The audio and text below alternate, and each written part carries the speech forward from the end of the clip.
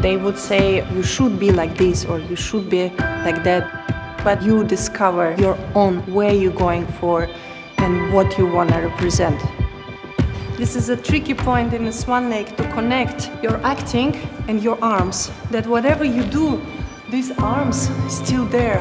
And the Black Swan is this ta ta ta. It's the same port de bras, but wah, same thing but completely different.